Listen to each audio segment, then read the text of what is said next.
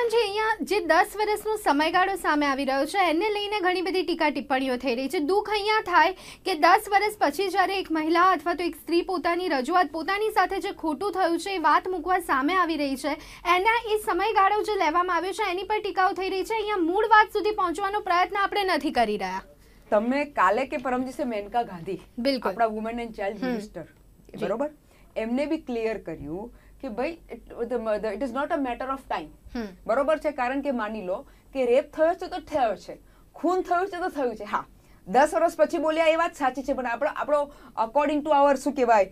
Court કે જે બી છે એવું એવું એવું કંઈ એટલું ટાઈમ બારિંગ નથી. ચલો ને આપણે એક આપણે જસ્ટ એક બીજા પોઈન્ટ પર વાત કરું. કે લેટસ મારો એક કોઈ કેસ ચાલે છે કોર્ટમાં બરોબર?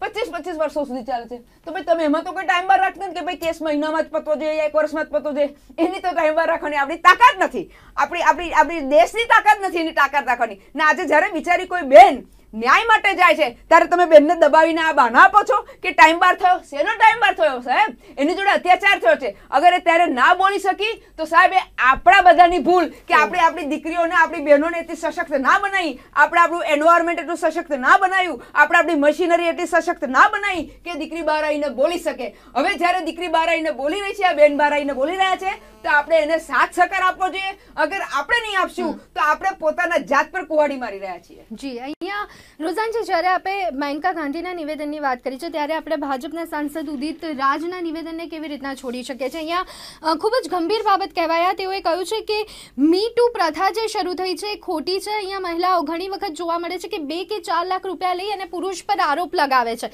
અહીંયા ઢાંક પીછોડો કરવાનો પ્રયત્ન થઈ રહ્યો છે અને સાથે જ આ પ્રકારના નિવેદનો અહીંયા રાજકારણમાંથી સાંભળવા મળી રહ્યા છે. આ આ બધું આ બહુ કોમન છે. એટલે મેં આમ આમ કર્યું. મેં ઘીસીપીટી વાત છે. બે ચાર લાખ બોલ્યા. સાહેબ તમે પચાસ હજાર લાખ બોલશો તોય કઈ ફરક નહીં પડે ને ચાર પચાસ લાખ બોલશો તોય કઈ ફરક ના પડે. કારણ કે જ્યારે તમે કહો છો મહિલાઓ પૈસા લઈને કરે તો સાહેબ તમને શરમ આવી જોઈએ. એટલા માટે કારણ કે કઈ ગાડી છે bellow? See there is no smoke without fire. બરોબર? પુરુષોની આવી આદત છે. આપણે તમને આજ સુધી હું તમને બીજી વાત કહું. એટલે તો છે મને ઘણી વાર કીધું કે પોલિટિક્સ પોલિટિક્સમાં હતો. મેં કહું પોલિટિક્સમાં તો હતું જ. બરોબર? પણ બહેનો બોલતી હતી હવે લેટ કોઈ મારી મિત્રો પોલિટિક્સમાં તમારા ઘણા મિત્રો. મિત્ર બોલે કે આવું આવું થાય છે ને આમ થાય. હવે એ તો બિચારી બહાર બોલવાની નથી તો અંદર અંદર બોલે. હવે મને હું બહાર બોલું? લેટ છે, હું પ્રેસમાં બોલું? તો પ્રેસ મને કે, બેન, તમારી જોડે થયું હતું હું કહું, ના ભાઈ. તો કોની જોડે થયું હતું ભાઈ, કોઈ એક્સ જોડે થયું હતું તો કે, બેન, એને બોલવા દો, તમારો શું ભરોસો? તમે સાચું બોલો છો કે ખોટું? સી અન્ડરસ્ટેન્ડ દેટ એટલે અલ્ટિમેટલી આજે શું થયું છે? પહેલા યર્સે કહેવાતું હતું. એટલે એક બોલતું બધું બીજું બોલતું હતું. એકબીજાની વાતો થતી હતી. હવે પેલી બેન પોતે આવીને બોલી રહી છે. પોતે ઉઠીને બોલી રહી છે. પહેલો પણ બીજું, તમને શું લાગે છે? બેનો ગાડી છે? એ બે ને ત્રણ ને ચાર લાખ જેવી તમે ગણાવો છો. એના માટે પોતાના જાતને, પોતાના યુ નો ફોર ફોર એક એક બેન માટે સૌથી મોટી શું ચીજ છે? એના માટે એની ડિગ્નિટી છે, એની રિસ્પેક્ટ છે, એની ઇજ્જત એના માટે સૌથી મોટી ચીજ છે.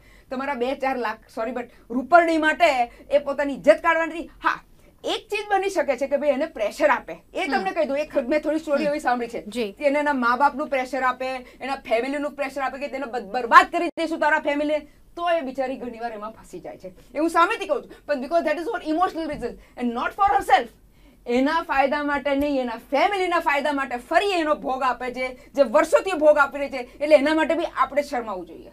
જી બિલકુલ.